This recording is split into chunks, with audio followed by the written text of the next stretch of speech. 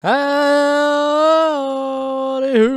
welcome to Nevz Gaming. It has been Christmas and I do hope you enjoyed yourselves. I know I got what I wanted for Christmas and that was full netherite armor and tools minus the sword that we uh, decided to throw into the lava.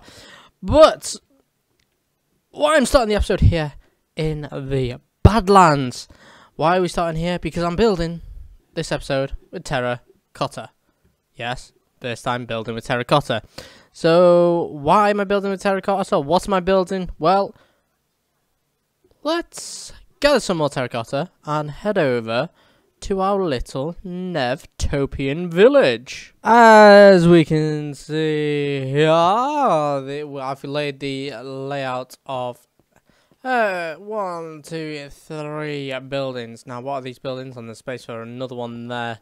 What are these buildings going to be? Well, I'm going to tell you. These buildings are, in fact, going to be shops. Because, as we love the New Year's Day sales, and also we love the absolutely uh, Boxing Day sales, I'm going to build these encompassant with that. So each shop is going to be a different one. We're going to have a clothing store. We're going to have maybe a fireworks store. We're going to have lots of different things. And we're slowly going to build up this area to make it into a nice little housing area. Yes. So uh, let me finish off these buildings. Let's start off with the first one, the uh, clothing store. And there we have it. Our first store is complete. And what is that store? Well, of course, it is Nev's Clothing. Yes, we have made our first store for the January slash Boxing Day sales. It is a clothing store because we all know those lovely sales always happen on Boxing Day and New Year's. And we can't beat a bargain. No, we can't. So let's have a quick look inside, shall we? Or oh, entering here, you can see we've got a few clothing on on uh, display already. Got a lovely picturesque background with a skeleton in a conch shell, or is it a flip flop? I don't know. Uh, you uh, write in the comments below what you think that is. Uh, but here we go. We've got more more clothing on stands. We've got some storage up top there, which we can store all the cover, uh, all the clothing. Uh, we've even got a few pictures here and there, just to fill in that gap and make it make it a bit more active.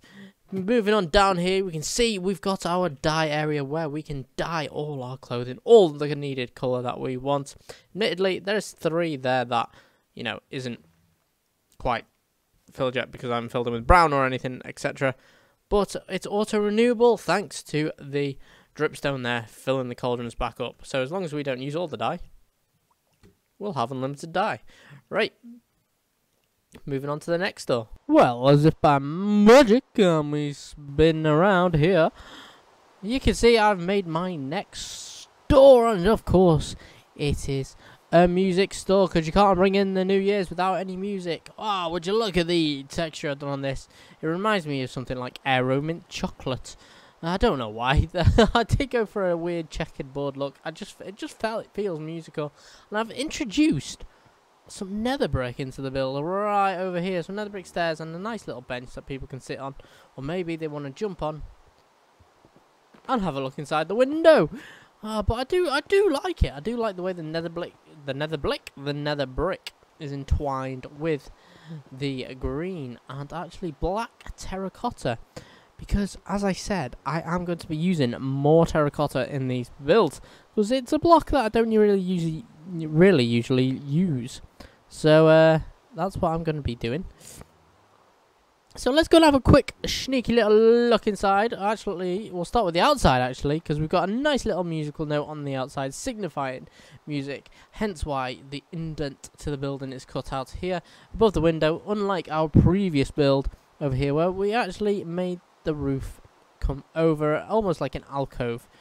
Uh, on top of the roof there, you can see a disc. Yes, I tried to go for a vinyl disc to mirror image the discs within Minecraft. I hope that is achieved. I think it has. But if we enter here, we can see we're greeted with the usual dark wood trapdoors with the um I'm make, turning this into a till, but it's actually just a uh, trader stand to get for the villagers. I can't remember what it's called off the top of my head. Uh, but let's go around here. We've got no blocks. But you can have fun making music. Oh my god, it goes so high!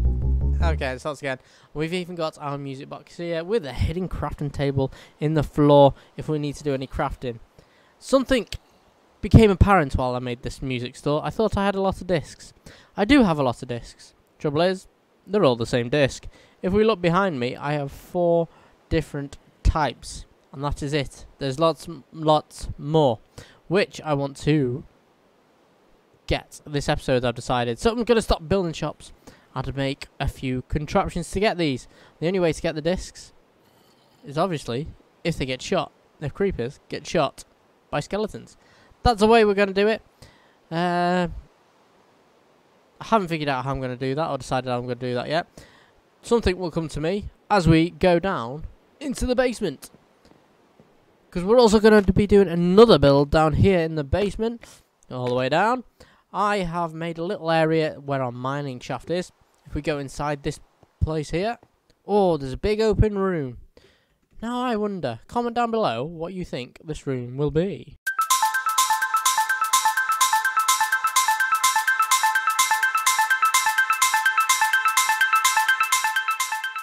Yeah, the disco room is completed. Look at that architecture on the ceiling. We've used a lot, a lot of different blocks and wood types in this room just to make it that, um, we, well, we're trying to make it that nightclubby, like lounge, old school lounge where you can have a stage in the background.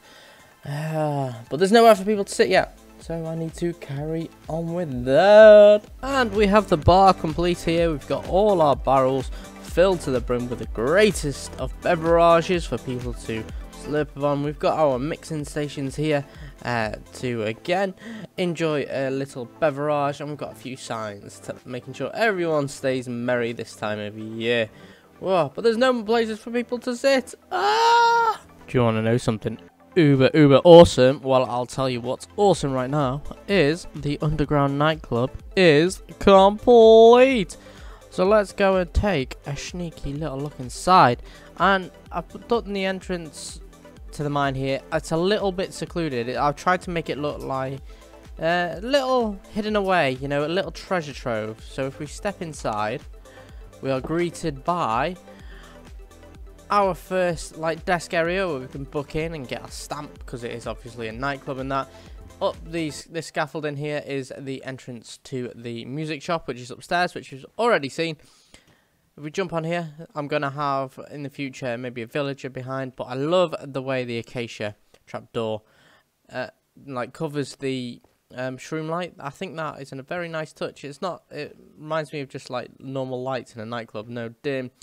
Uh, i've used again some warp stem block uh, with the obviously another the trees from the nether here. I can't remember what they're called. What are they called? The top of my head. Uh, crimson stem, they are. I've used the crimson stem, and again, I've used the nether brick for a ceiling. And But if we go through the main hallway here, you can see the transition where it's mainly watered on. We go through the door into the main area, and look at that. We have our little bays where people can sit and place their drinks upon and we go around here we've got some little standing tables we've got the main stage over there where we can have all sorts of entertainment swinging it around, more places to sit, our bar in the corner, swinging it around even more. Again, we've used the shroom lights, but this time covered with the uh, oh no, what what are they called? Ah, I can't remember what they're called, but those trapdoors, the redwood trapdoors. Um, ah, mangrove trees. There we go. We got there in the end. Woo, are, I forget words. It's unbelievable. But yeah, we've got the mango mangrove trees trapdoors there. Covering the shroom lights again, and I just love the the effect the shroom light gives behind them. Uh, but all these bays there for plenty for people to sit. We've got the main dance floor here where we've got lava underneath lighting the area, and I've decided to go for these like little drop uh, drop lights here. I think they're very they're very small, limited. They don't draw your eye too much. But what do you think of this chandelier? I'm tempted to put another chandelier here as well above the dance floor. I'm not too sure about it. So I'd like your opinions in the comments below. Now, we've got the dance floor, we've got the music shop, but we haven't got the discs. I now need to find and make a creeper, skeleton, killer. And with a build of a higgledy piggledy, we've got a mixture of wood and stone there. Yes, I move. I built with wood and stone because I started building with wood and then realised I was running out very, very quickly. So I switched to stone, which I have plentiful of. And if you look behind me, this is our creeper spawner slash creeper killer slash CD maker. Basically, we've got a skeleton here trapped thanks to the use of pistons. Trust me, he's even got a special bow. I kept on running around, but he kept on hitting me. But now that is all sorted, he ran into the middle there, the pistons fired and trapped him in, and then I blocked them off with glass. Quite simple and easy. Above us, here is just a simple little creeper spawner. It's nothing too big, nothing too fancy. The rates aren't are good enough. They're good enough for what we need. Uh, and for a single person. So let's go and check inside. We've already started, started uh, collecting a few. Uh, what I'm going to do is I'm going to drop this here because this is a perfect distance for the skeleton to try and shoot me. And hopefully he should start trying to attack me now. Yeah, there he goes. Instead, he's hitting the creepers, which means I am perfectly safe. I have not a worry in the world. So I'm going to stay here for a bit, see how many CDs I can get, and I'll be right back. All those creepers are now passed away, so uh, thanks to our lovely skeleton here. Let's see what we got in the chest. Oh, we got a couple of C14-418 broken discs. We've got fixed disc. We've got high, and we've got the style disc. Oh, I think I want to see if we can get some more. So uh, I'm going to spend about an hour here and then we'll go from there. Okay, so my skeleton may have actually died. Why? Because guess what? This Wally here was wearing thorns. What happens when all the creepers die? They shoot towards me, they gets hit by thorns and then die. Ah, uh, it's the last time I do something like that, AFK, and leave the keyboard. But Let's have a look inside the chest. What goodies do we got? We have all these goodies. Look how many CDs we've got now. Admittedly, it's not all of them that we can collect, but look at all. We've got things Mall, Wade, Far, Blocks, Strad, loads of broken discs, and Mellow High. So, let's go put these in the music store and see what they look like on the wall. Behind me is all the CDs we've got so far, the discs are ready to be played and bought and sold in our music shop. And we've got space for all the goat horns which we can utilize and place upon there as musical instruments as well because they are of course sound and music. We've only got one so far, but we'll have to look into that in a future episode. But this episode is now finished. I would like to thank you all for watching. I've been Nevz Gaming. You've been amazing. Toodaloo. And I'll see all you wonderful people in a few. Goodbye.